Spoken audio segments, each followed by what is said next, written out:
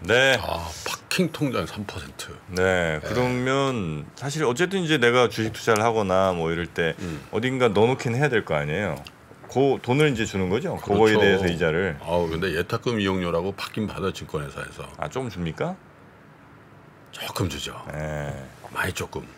근데 이렇게 파킹 통장을 이용하시면 아, 거의 어쨌든 뭐 정기예금 금리나 마찬가지 3%면. 네. 그 입출금도 굉장히 자유롭고 아, 그럼요. 예, 요- 거기 있는 돈만큼만 또딱세 번만 누르면 돼. 뭘요? 버튼을 아 그렇습니까? 모바일에서. 하여튼 이런 작은 것까지 잘 챙기셔야 나중에 또 큰 돈도 벌 수 있는 거 네. 아닐까 싶네요.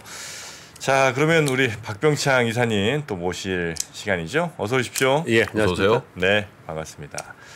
자 그러면 우리 박병창 이사님과 함께 아, 어제 시장 마감부터 한번 살짝 보면서 음, 예. 미국이 간만에 빠졌어요 다우가. 예, 연초 이후에 뭐 비교적 큰 폭으로 또는 연속해서 상승을 했습니다. 음. 우리나라는 9일 연속 상승했고요. 그러다가 어제 하락을 했고 음.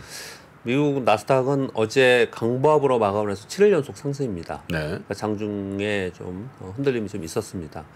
어, 어제 혼조 상태였습니다. 나스닥은 0.1% 상승을 했는데 다우는 1.1% 하락했고 음. S&P 500은 0.2% 하락을 했습니다. 주요 지표들의 큰 움직임은 없었고요. 특징적인 것은 달러 인덱스가 살짝 올라왔는데 우리 원화는 역외환율에서 오히려 좀 하락하는 그런 네. 특징을 좀 보였고요. 그리고 뭐 그 외에 유가나 그리고 국채 수익률은 큰 변동이 없었습니다. 어, 어제 뉴욕 연은에서 발표하는 1월 엠파이어 스테이트 제조업 지수, 이게 제조업과 관련된 지수들 중에서 가장 먼저 발표하는 그렇죠. 건데요. 어, 전월에 11.2였는데 올해 1월에 32.9로 엄청나게 낮아졌습니다. 굉장히 많이 빠졌더군요 네, 저게. 어, 전체적으로 어, 지금 제조업 쪽의 경기가 후퇴하고 있다라는 것들을 지금 이제 보여주면서 음. 어, 향후에 나올 경기 지표에 대해서 우려의 목소리가 좀 나타났었고요. 근데 그러다 보니까 산업주가 하락을 했겠죠. 네. 그런 가운데 어제는 딱 두 종목 때문에 이런 현상이 나타났습니다. 네. 하나는 골드만삭스 아까 뉴스함에 전해드렸죠. 어, 어닝 쇼크 발표가 있었습니다. 그래서 금융주가 하락을 했습니다. 네. 전체적으로. 그리고 반면에 테슬라가 중국 판매가 급증했다는 이유로 인해서 테슬라가 어, 큰 폭으로 상승했습니다. 뭘 그와 이래? 테슬라는 지금 뭐 어딘 어느 장단에 춤을 춰야 되는 거죠 저거. 그와 더불어서 길주도 상승을 좀 했거든요. 네. 그래서 어제 보면은 골드만삭스는 6.4% 하락을 했고요. 네. 테슬라는 7.4% 상승을 했어요. 네. 그러니까 당연히 지금 어, 골드만삭스 속해 있는 다우는 하락을 했고 네. 금융주와 산업재는 하락을 했고 그리고 기술주 중에서 TSMC나 엔비디아, 엔비디아 4.7%로 상승했거든요. 이거 연속해 7일 상승입니다. 나스닥은 오르고. 예, 그러다 보니까 나스닥은 오르고 이렇게 엇갈리는 흐름이 좀 나타났습니다. 잠깐 언급을 좀 드리면 골드만삭스의 어닝 쇼크에 대한 부분은요. 근데 다른 은행들은 이렇게 어닝 쇼크가 아니었습니다. 오히려 이제 좋은 모습이 나타났는데 IB 쪽에서 이런 일이 벌어졌다라는 거예요. 그래서 주식시장의 본업보다는 어, IB 쪽이 좋지 않았다. 뭐 채권 부분이나 이런 부분이 굉장히 컸겠죠. 그리고 네. IPO가 별로 없었다는 부분. 어, 그러니까 시, 시황에 맞춰서 어, 실적이 이렇게 예, 좀 차별화가 됐다라고 음. 보시면 될 것 같고요. 테슬라의 중고 판매 급증은 어, 가격 인하 때문에 그렇죠. 네, 가격 인하 때문에 지금 계속해서 뭐 완판됐다 이런 얘기를 좀 하고 있는 그런 상황인데요. 요거는 뭐 이쪽 전문가들이 많이 말씀을 좀 주시겠지만 이제 보고서들을 많이 보면요. 테슬라가 아, 수요 위축으로 인한 가격 인하 얘기들을 많이 하고 있지만 어, 실제로 향후에는 완성차 메이커들의, 메이커들의 전기차가 지금 출시가 되면서 그것이 예, 본격적인 경쟁 지금 구도로 가지 않습니까? 그러면서 우리가 그 반도체도 그랬고 예전에 폴리실리콘도 그랬고 그 치킨 게임 가격의 치킨 게임 얘기 많이 했지 않습니까? 네, 그런 것들을 좀 해나가고 있는 게 아니냐 뭐 이런 얘기들 좀 많이 있더라고요. 네. 한번 좀 참고하시면 되지 않을까 생각합니다. 네. 여튼간에 테슬라와 골드만삭스로 인해서 이제 엇갈린 현상이었고 뭐 다른 것들은 주요 시총 상위 종목들은 다 보합권에 있었습니다. 음. 우리 시장은 어제 코스피 0.85% 하락을 했고요. 코스닥은 1% 정도 하락을 네, 했습니다. 올 들어서 최근 들어서 제일 많이 빠진 거예요. 예, 그렇습니다. 어, 지금 뭐 9일 연속 상승을 했던 거니까요. 음. 그리고 어제 10일째 이제 하락을 한 건데요. 어, 보합권 시작 후에 경계 매물이 최근에 계속 있습니다. 그러다가 외국인들이 매수를 하면서 다시 반등을 해냈거든요. 음. 네. 어제도 사실은 그랬습니다. 중간에 반등 시도를 했었어요. 음. 그런데 오후 들어서 국내 기관들이 대거 매물을 내놓기 시작을 했습니다. 야 어제는 개인하고 외국인이 오랜만에 편 먹었네. 예, 오랜만입니다. 오랜만에 편먹었어요. 네, 기관들이 어제 3천억 정도 팔았는데요. 네. 어, 매도를 보면 연기금이 530억, 사모펀드 588억, 뭐 금융투자가 그렇다 치더라도 어, 규모가 좀 커졌죠. 근데 국내 기관들이 매물로 인해서 하락했다고 보시면 될 것 같거든요. 종목들 그렇고요. 그래서 제, 저 모르겠습니다. 제가 볼 때는 개별 종목에는 국내 기관들이 loss cut이 왜 이렇게 많아요? 손절매가 손절매 참 많이 하는 것 같아요. 뭐왜 그런지 작년 말부터 그랬는데 올해 초에 뭐 아니면 운용사가 바뀐 건지 아니면은 뭐 rebalancing을 하는지 모르겠는데 loss cut들이 상당히 많이 나오고 있습니다. 그래서 종목별로 보면은 그동안에 쭉 특히 연기금 active 펀드일 것 같은데 네. 쭉 사다가 그래서 만 원에서 만 삼천 원까지 사다가 다시 만 원 왔는데 지금 다 팔고 막 이런 종목이 너무 많아요. 개별 종목 중에서는 그래서 뭔가 좀 움직임이 있구나라는 생각이 좀 많이 들고 있고요. 어, 늘 말씀드리지만 어, 외국인들이 시장을 떠받치면서 어떻게 견인하고 있는 상황 속에서 기관들이 조금이라도 도움을 주면 시장이 좀 강하고 기관들이 손 놓고 있으면 좀 약하고 기관들이 이렇게 팔면 또 떨어지고 이런 현상이 좀 나타나고 있는데 어제 같은 경우에는 어, 기관 매물 강화로 인해서 하락했다라고 보시면 될 것 같습니다. 네. 어, 기관 매물들도 뭐 대형주 위주로 많이 나왔고 그렇기 때문에 메타버스, AR, VR, 뭐 AI 상대적으로 굉장히 소외되었던 종목들, 섹터들 있잖아요. 여기가 강세를 보였습니다. 제가 일부러 종목을 한번 적어와 봤는데요. 어제 급, 좀 급등했던 종목들 알체라, 맥스트, 자이언트 스텝, 가온 미디어, 셀바스 AI, 플리토, 나무가, 덱스터, 위지윅 스튜디오. 이거 왜 적어왔냐면요. 오랜만에 들어보죠. 야 한때 진짜 예. 최고의 상승. 그게 뭐 한 1년 반 정도? 예. 그죠? 예. 예. 오랜만에 들어본 그러네요. 아마 이름일 것 같아요. 네, 그래서 아, 일부러. 한번 적어왔습니다. 그러니까 오랜만에 들어왔다는 들어봤다는 얘기는 그 동안에 시장에서 소외되고 굉장히 주가가 안 좋았던 쪽이에요. 네. 그런 쪽이 지금 올라오고 있는 그런 상황입니다. 근데 왜 이런 현상이 벌어지느냐? 한마디로 표현을 드리면 시장을 지수를 끌어올리고 그리고 기관이나 외국인들이 집중적으로 매수를 하면서 어, 시장의 그 소위 주도 섹터라고 하는 반도체나 바이오나 2차 전지나 자동차 이런 데를 지금 쉬고 있습니다.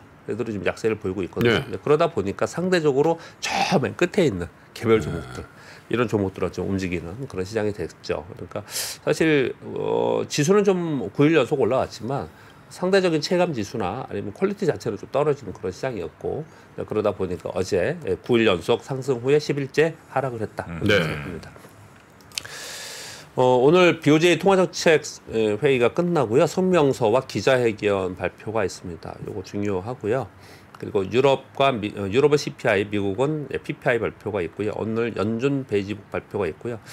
불러드 총재 외 10명 정도가 오늘 연준 인사들의 연설이 있습니다. 그래서 매파적 발언들이 오늘 좀 나오지 않을까 네. 그 생각을 좀 하고 있고요. 어, 연초 랠리 후에 지금 예, 하락 조정이 어저께 하락 있었는데요. 이제 실적 발표로 인해서 종목별 차별화가 나타나고 있는 상황이에요. 그래서 어, 실적 발표 시즌에는 주요 종목의 실적으로 시장이 등락합니다. 어제 미국 보셨다시피 골드만삭스나 아니면 테슬라나 일부 종목에 의해서 시가총액이 높기 때문에 물론 이제 다우는 이제 균등입니다. 이제 균등 그러니까 시가총액의 비중이 아니고 이제 균등으로 하긴 하지만 네. 전반적으로 시가총액이 높은 종목. 아 그렇죠. 다우지수 뭐, 네. 뭐 거기 들어가 있는 주가 주식이 몇 개안 예, 되니까 예, 얼마 안 되니까요. 한 개 푹 빠지면 확 빠져요. 예, 소위 시가총액 상위 종목에 있는 종목들의 음. 에, 결과에 따라서 종목이 움직인다라고 보시면 돼요. 근데 제가 관심 있어 하는 거는 중간에 빨간 것으로 쓴 부분입니다. 상대 적으로 양호하다라고 인식되어 있던 섹터나 기업들과 그리고 굉장히 좋지 않을 것이라고 생각했던 섹터나 기업들의 실제 실적 발표와 그것으로 인한 시장 반응. 음. 이게 제일 관심인 겁니다. 음, 그러니까 이제 뭐 박 기사님 몇 차례 말씀해 주셨는데 우리 저 설 연휴 지나고 나오면 예. 가장 관심 가는 두개 예. 회사 테슬라와 애플. 그렇죠? 예. 그 영향을 만약에 올, 온- 오늘처럼 고만삭스처럼 이런 예. 실적 미스가 나오면 예, 예. 영향을 받을 거다. 근데 이제 그들이 실점 수가 나왔는데 시장이 우리나라 삼성전자처럼 만약 그렇게 움직인다. 음. 그럼 시장의 굉장히 방향이나 여러 가지의 그 섹터의 움직임이 수급으로 변할 가능성이 있습니다. 음. 이게 굉장히 중요하다 말씀을 좀 드리고 있는 것이고요. 미국 시장도 어쨌든 그런 큰 주식들이 예. 떨어지면 시장 전체에 하여튼 영향이 좀 어, 많이 미국은 있어요. 실적에 의해서 움직이죠. 그렇죠. 예. 한국하고 좀 반대예요. 네. 한국은 삼성전자 원이 쇼크 나오니까 그날 그날부터 그런 거 아니에요? 예. 어. 아니 그러니까 이제 예를 들면 제, 저는 애플 주식이 없는 사람인데 네. 음. 미국 투자자인데 네. 애플이 떨어지는 거 보고 네. 아 시장 안 좋구나 요- 이런 움직임들이 있다는 거죠. 어, 그렇게 판단을 하죠. 음. 이번 시장을 어, 지난 몇 개월 동안 이제 저도 이제 얘기를 하는 사람들이 있을 거 아니에요. 네. 어, 테슬라와 애플을 본다. 그두 개가 버텼거든요. 음. 근데 얘네가 무너지면 이거 무너진다. 이렇게 이제 기준을 정해놓거든요. 네, 네, 네. 그런 기준을 정해놓는데 실제로 지난 4분기에 테슬라와 애플이 시장을 끌어내린 거였어요. 음. 다우나 이런 건 크게 빠진 게 아니고요. 근데 네. 이들이 실적 발표가 지금 다음 주에 있기 때문에 네. 그 실적 발표를 하고 나서의 주, 그 주가의 움직임 에 따라서 시장의 반영이 굉장히 클 거다 이렇게 해서 말씀을 드리고 있는 거고요. 네. 그리고 국내 시장은 뭐 연초 이후에 비교적 강하게 반등을 준 편입니다. 그래서 아, 이거 뭐 연초 이후에 심리적인 또는 수급적 요인이다라고 얘기하시는 분들도 있고 아니다 뭔가 바뀌지 않았냐. 뭐 외국인들 매수 규모도 그렇고 뭐 그래서 이렇게 뭐 서로 양반 상, 상반된 이제 어, 투자 심리나 또는 이제 시황관을 많이 갖고 있는데요. 네. 일단은 뭐 아무튼 뭐 현재 상황은 그 동안에 계속 올라온 상태에서 다음 주에 우리 설 연휴이죠. 물론 이틀뿐입니다. 다음 주 월화가 어, 대체 휴일이죠. 연휴이고요. 어, 수요일 날 열리는데 어 그리고 곧바로 이제 이벤트들이 좀 있어요. 그래서 경계 심리가 굉장히 강한 상황입니다. 네. 요 이번 주 내내 걔가 계속 말씀드린 건 이거고요. 그래서 시장이 지수는 올라갔지만 체감 지수 굉장히 안 좋고 안 좋아요. 굉장히 약합니다. 들어올 때 매수 들어오면 네. 굉장히 약해요. 개인들 있지도 않은 은행주 오르고. 예.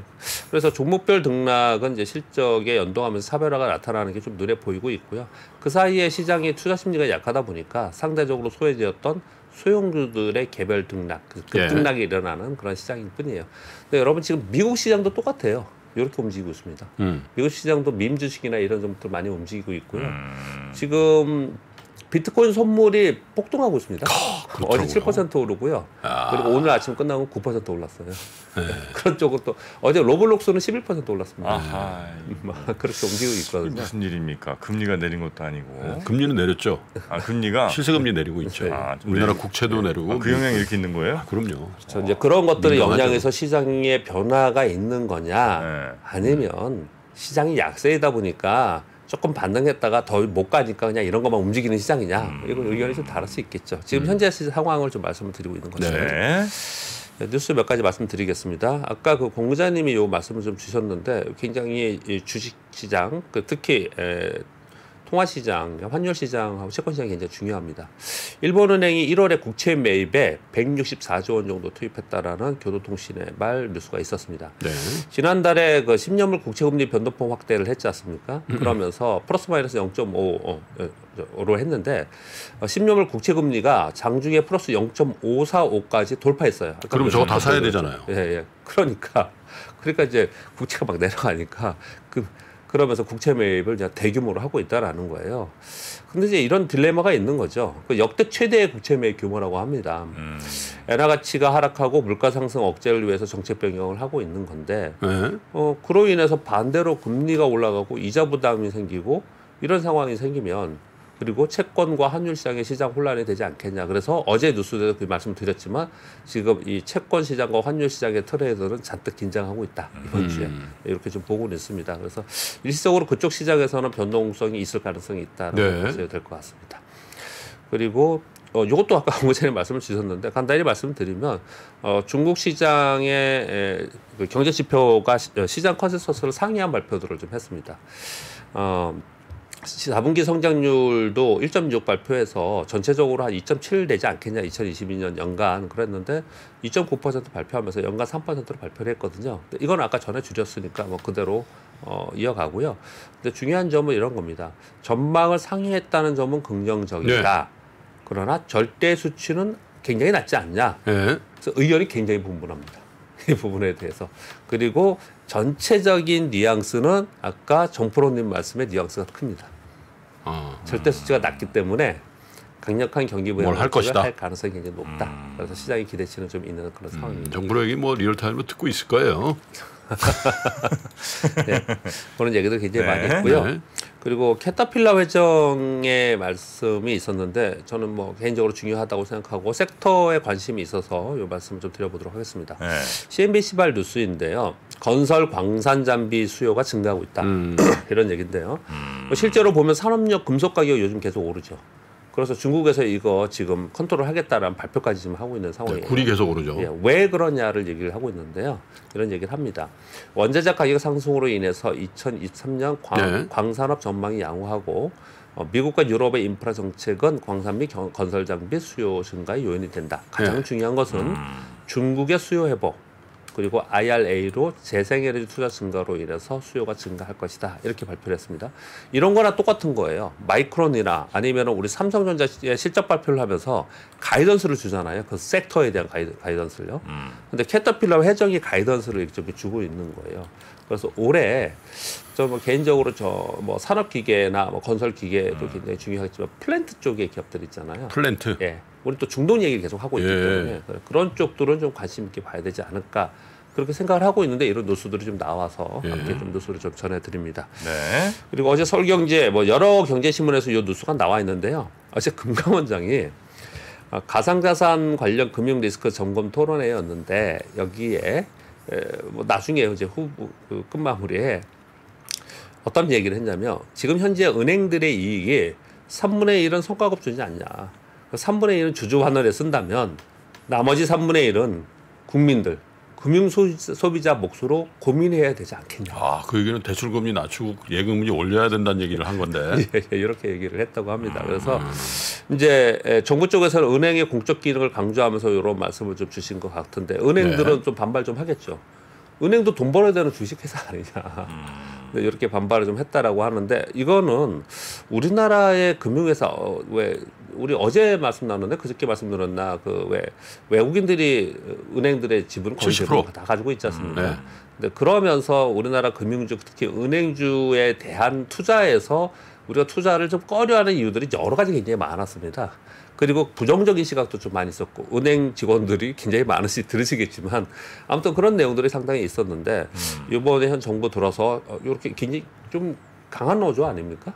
네. 이런 네. 워딩들이 좀 나와서 어, 시장에서는 일단 은행주에 대한 가격에 대한 관심도 있지만 은행업에 대한 관심들이 상당히 고조되고 있다. 근데 은행은 그냥 일반 그 사기업 민영기업 과는 좀 성격은 좀 다르죠. 다른 거죠. 다르죠. 공적인 부분 기능이 당연히 있죠. 예. 예. 예, 왜냐하면 저 은행이 우리 저박 이사님 아시겠지만 옛날에 은행이 굉장히 많았습니다. 아, 예. 예? 지금 사- 지금 없는 은행들만 줄, 줄 잡아도 한 10개 이상 될 것. 동아은행, 평화은행, 충청은행, 조흥. 예? 충북은행, 많죠. 한빛, 조흥은행, 뭐. 네. 그죠? 예. 한일은행, 상업은행, 예. 그잖아. 이거 예. 다 통합해 가지고 다섯 개 금융지주가 된 거란 예. 말이에요. 어. 그러니까 과점 상태를 만들어 준 거란 말이에요. 그것도 당시에 외국인들 때문에. 자금도 들어갔지만 공적 자금도 굉장히 많이 들어가 있는 상황이었고 네. 그런 서울은행도 있었지 참. 서울은행, 신타은행도 있었고 외환은행, 지금도 KB 외환은행 있어. 네. 뭐 아무튼 아까, 아까 말씀 질문 주신 거 있어 그냥 얘기하신 겁니까? 아, 예, 예. 예, 그래서 예. 이제 뭐 예. 그냥 사기업처럼 예를 들어 은행이 지금 뭐 은행도 역시 주식회사 아니냐 이런 예, 예. 주장을 한다는데 예. 그렇게만 보기엔 좀 어려운 측면이 있는 거 아니냐. 이런 이제 얘기를 잠깐 뭐 이제 동전의 양면 뭐 같은 그런 얘기긴 해요. 네. 그리고 두 가지만 더 말씀드리겠습니다. 휴대폰 완제품 및 부품 수출 쇼크가 아, 그 수출 동향 발표가 좀 있었습니다. 갤럭시 감산과 중국 아이폰 생산 중단의 영향을 받으면서 12월에 휴대폰 수출은 전년비 28% 29% 정도 감소했고요. 완제품 76%, 부품 38% 감소했다라고 해요. 그래서 갤럭시 지금 20 23 그거 뭐 기대를 한다 이런 얘기를 좀 하고 있는 상황인 것 같은데요. 여전히 이쪽이 계속 좋지 않은 상황. 오히려 반도체 쪽보다 더 지금 좋지 않은 그런 상황이 되어 있어서 네. 이쪽에 있는 기업들이 우리 굉장히 많습니다. 코스닥에. 그래서 굉장히 고전하고 있는 상황인데 여전히 아직까지는 좋지 않다라는 말씀을 좀 드리겠고요. 어, 일곱 번째 마지막 뉴스는 어, 한경제 신문에 어제 뉴스 나온 건데요. 올해에도 전기차 성장은 지속될 것이다. 여러 가지 말들이 많지만 지속될 것이다. 근데 그 전에 한경제 뉴스는 아니고 다른 뉴스에서 이제 발췌한 내용들을 보면은 올해 2023년 자동차 섹터 전체는 좀 부진할 걸로 보더라고요. 어, 왜냐하면 소비 약화로 인해서 지금 중고차도 재고가 증가하고 있고 신차도 재고가 증가하고 있다고 합니다. 그래서 전체는 약화질 건데 어, 전기차는 10% 이상 계속 성장할 거라고 많이 보고 있거든요. 자동차 섹터의 분석 자료에 그렇습니다. 그런데 이제 그 와중에 우리나라의 배터리 양극재 기업들 어, 이런 이제 최대 실적을 계속 내고 있는데 어, 또 하나의 특징은 그 최대 실적의 수출액이 약 41%가 중국이네요. 그러니까 중국이 굉장히 중요합니다. 그래서 중국의 경제 부양 정책과 그 중국의 어, 올해 경제 전망 이런 게 굉장히 중요한 상황인 거고요. 2위가 3위가 헝가리와 폴란드인데 이건 왜 그러냐면 어, 헝가리는 삼성 SDI 공장이 공장이 거기가 네, 있죠. 3위는 LG 엔솔 공장이 폴란드에 있기 음. 때문에 그렇습니다. 마지막 이제 사- 보시면요. 올해 전망 이익들 보면요. LG 엔솔도 이거 뭐예요? 거의 두 배죠. 삼성 SDI도 상당히 많이 늘고 있고요. 어, 뭐 좋을 거라고 많이 보고 있습니다. 그런데 이제 어, 2차 전지의 기업의 주가 전망에 대해서 부정적인 이유가 나오는 이유는 전에 김프로님도 한번 말씀 주신 것 같은데 미래의 침투율 50% 이상 50% 정도의 가정에서 그때의 이익을 땡겨서 지금 주가가 반영했다면 너무 빨리 간 거 아니냐. 그리고 예, 이제 예. 그 정도 캐펙스를 했다는 거잖아요. 예, 예, 예. 그렇게 얘기를 계속 하고 있는 네. 거거든요. 이제 그런 것들을 감안했을 때 네. 높은 수준이 있고 또 주가가 떨어지면은 또 다시 또 그때는 좀 싸지게 되는 거잖아요. 그래서 2차 전지 쪽은 추세적인 하락 그런 부분보다는 단 계단식으로 움직이지 않을까요? 네. 계단식으로 올랐다가 또 계속 주춤하고 있다가 이런 식으로 좀 움직이지 않을까 이런 생각을 좀 해보게 됩니다. 네.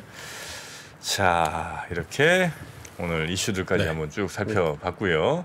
항상 이렇게 한번 쓱 정리하고 나면 아, 많이 좀 뇌가 좀 정리되는 느낌입니다. 아유, 우리 박병창 이사님 매일 감사하고요. 네. 내일도 잘 부탁드리겠습니다. 네, 고맙습니다. 감사합니다. 감사합니다. 네, 잠시 후에 송명섭 위원 반도체 이야기하겠습니다. 안녕하세요. 저 김프로 김동환입니다. 올해도 많은 분들이 우리 청년들의 자립을 지원하기 위해서 3프로 다이어리를 구매해 주셨습니다.